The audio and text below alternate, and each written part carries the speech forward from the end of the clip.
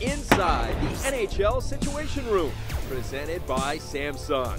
And it's taken away and kicked out to ice by Kane. Here's Kane with nothing but an open net. Kane over to oh, Reinhart. salts it away with the hat trick and puts Buffalo up by two. And they're going to review the offside. Watch 23's left leg when he comes across.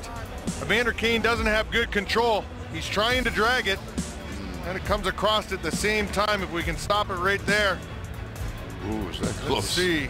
Just roll it ahead a little bit. I think the puck's across, but is that left leg of Sam Reinhart off the ice or not? After review, the call on the ice stands. The play was not offside. It's a good goal.